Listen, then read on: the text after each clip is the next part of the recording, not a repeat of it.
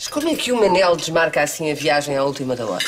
Aconteceu alguma coisa? Ele ao telefone, eu só me disse que tinha tido problemas com a mulher, ainda tentou ligar à mãe, mas que a mãe... De Nós tem de ir a Milão.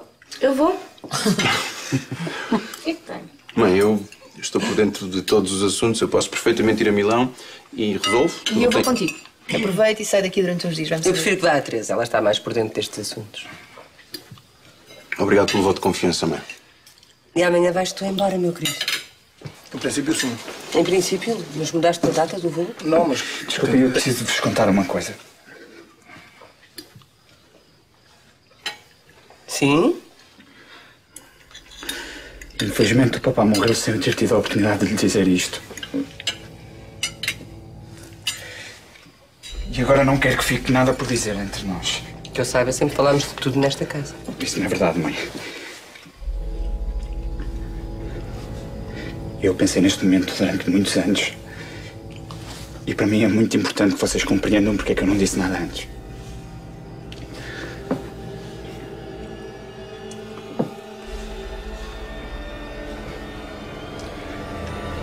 Eu sou gay, mãe.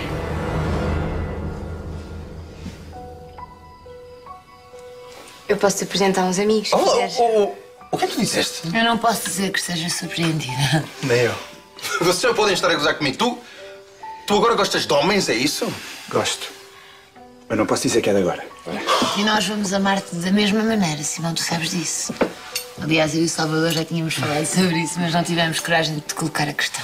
E eu também já desconfiava. Tenho alguns amigos na moda que te conhecem. Espera lá, tu já desconfiavas e tu nunca me disseste nada. Parabéns pela coragem, Simão. Tens todo o meu apoio, mano. Não admira que tenhas esperado que o pai morresse para revelares uma coisa desta. Tem que levar para todos os baixos de tal. Estás a falar de uma verdadeira... Nossa conversa! A mãe não tem nada para dizer? Fizeste bem em avisar. Agora quero que aprendas a controlar-te em público. Aquele folclore todo, as lantejoulas, o querer marcar a diferença, isso eu não vou tolerar. Vou para o escritório. Depois vem ter comigo para falarmos sobre a reunião de Milão.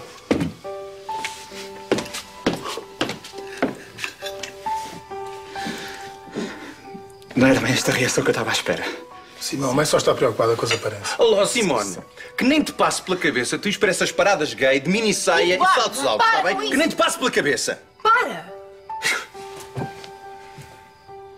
Agora tenho um irmão que é bicha. É que só me faltava mais esta. Vocês não levem a mão. Esta conversa está-me a dar volta ao estômago. Eu falo com ele.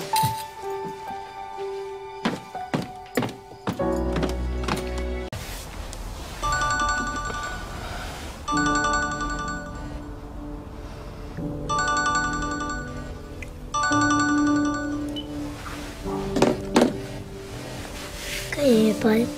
Não é ninguém. Não interessa. Não atende. Manela avisou que o filho estava doente.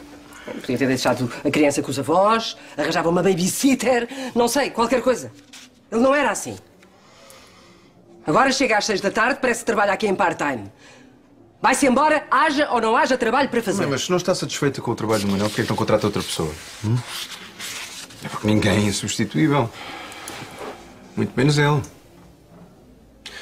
Mãe, lembra-se que ele foi a pessoa que esteve contra deixarmos falir a empresa para nos livrarmos do Álvaro e da Sofia. Realmente.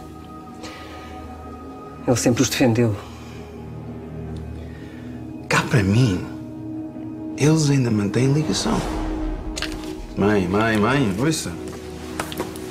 O Manel contou-me que o Álvaro e a Sofia perderam a casa. Que o banco executou a hipoteca. Que eles ardam no inferno.